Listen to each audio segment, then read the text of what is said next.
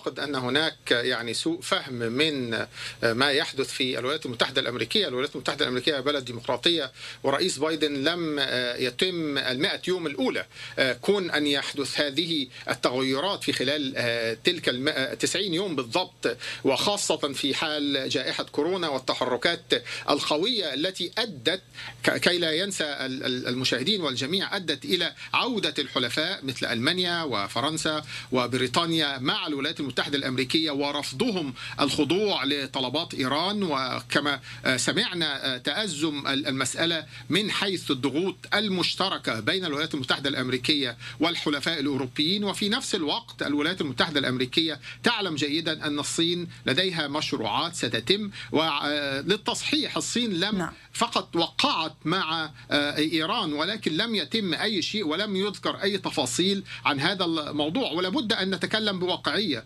الآن الدول الكبرى لا تتعامل مثل أي دول. هناك صلاحيات معينة وهناك اتفاقات واختلافات في ملفات كبيرة وملفات أخرى. لذلك أعتقد أن الولايات المتحدة الأمريكية تعيد ترتيب هذه القضية بشكل سليم ومستمر. ولا ننسى أن سبب وصول إيران إلى التخصيب 60% الآن ووصولها إلى هذا المستوى هو انسحاب دونالد ترامب بشكل غير مقبول وانقلاب الدول الأوروبية عليه حتى إنها لم تستطيع أن توافق معه، لم تستطيع الولايات المتحدة الأمريكية أن تجعل الدول الاوروبيه أن توافق معها على فرض عقوبات في مجلس الأمن وهي المرة الأولى تقريبا في التاريخ، لذلك أعتقد أن العودة إلى الديمقراطيه الدبلوماسية الحقيقية والتعاملات المنهجية التي تعودنا عليها من السياسات الخارجية للولايات المتحدة الأمريكية والمحادثات يعني مع جميع الأطراف، هناك محادثات مع الصين، هناك محادثات مع روسيا، هناك محادثات مع الدول الأوروبية ومحادثات حتى مع المملكة العربية السعودية،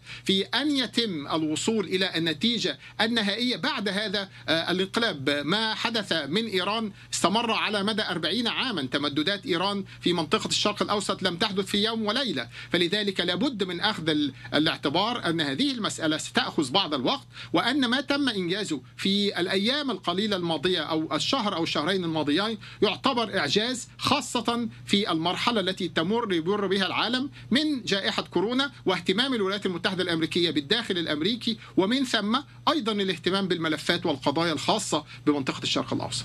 نعم. نعم. إذا سيد أليف بقاء مع الصين إلى أي مدى يؤثر باعتقادك الاتفاق الاستراتيجي بين الصين وإيران على السلوك الأخيرة؟ أي سلوك إيران في المفاوضات النووية وفي المنطقة؟ وكيف تقرأ ما قاله السيد عمليا مهدي العفيفي بأن هذا الاتفاق بين الصين الصين وإيران لم ينفذ على أرض الواقع حتى الآن؟ دعيني أذكر فقط بأن هذا الاتفاق لم يوقع صدفة وبين يوم وليلة هذا الاتفاق تم التفاوض عليه لمدة سنتين ماضيتين وبالتالي لما عندما تم التوقيع على هذا الاتفاق يعني ستبدأ ال... سيبدأ تنفيذه قريبا. لا يوجد اتفاق من هذا النوع يتم تنفيذه في اليوم التالي ولكن تم التفاوض عليه تم الاتفاق على كل تفاصيله. ولم تنشر فعلا كل التفاصيل هناك فقط رؤوس أقلام نشرت في هذا الموضوع وهذا أمر طبيعي. دول من هذا النوع باتفاق استراتيجي ل 25 سنة يتم ترجمته لاحقا في تفاصيل كثيرة جدا جدا في كل مجال ومجال.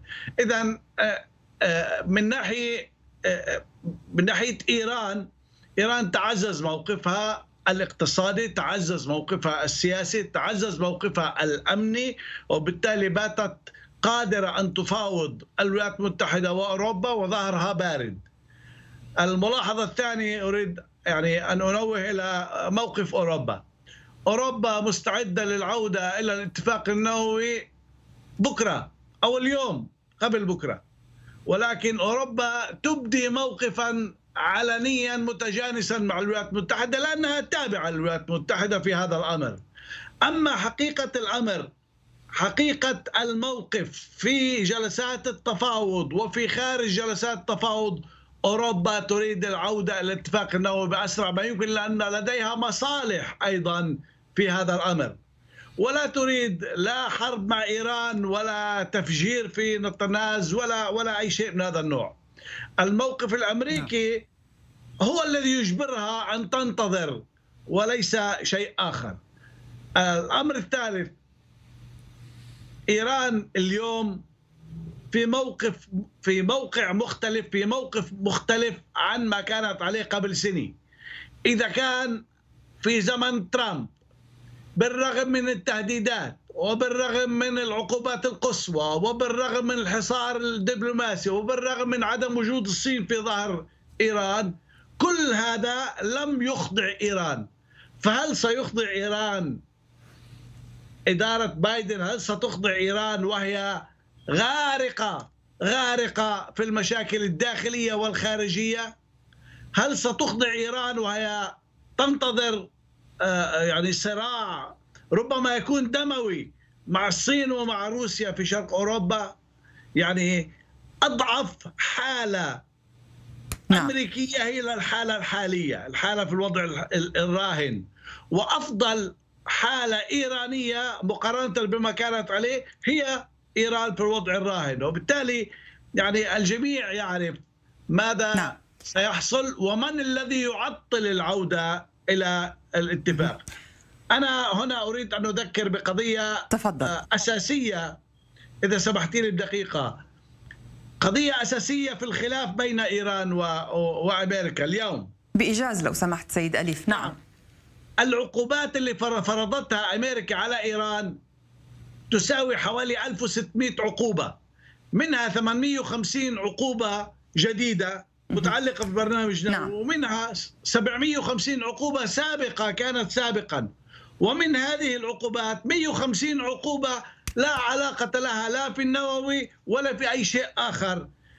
فرضتها أمريكا في السابق وجاء في الاتفاق عام 2015 إنه لا يجوز للولايات المتحدة إعادة. فرضها نعم. على إيران تحت أي مسمى آخر نعم. تحت أي مسمى آخر الآن أمريكا أعادت هذه العقوبات على إيران تحت مسميات مختلفة نعم سنطرح هذا إذا تبقى لدينا وقت سيد أليف اليوم تريد أن نعم. ترفع العقوبات المتعلقة نعم. بينه ولكن لا سنعود إليك ولكن نقاط مهمة طرحتها نطرحها على ضيفينا عمليا قبل أن أتوجه إليك سيد مهدي وأطرح عليك وجهة نظر السيد أليف أتوجه للسيد أحمد اذا سيد أحمد حينما تؤكد الأطراف أطراف معينة بوجود اتصالات سعودية إيرانية حتى أن السفير الإيراني في بغداد قال إن بلاده عمليا ترحب بالوساطة العراقية القائمة بين طهران طهران والرياض. وبين هذا وذاك تعلن جماعة أنصار الله الحوثي استهدافهم للمملكة العربية السعودية وفق روايتهم. إذا كيف تنظر الرياض إلى هذه المواقف المتناقضة بحسب رأيك؟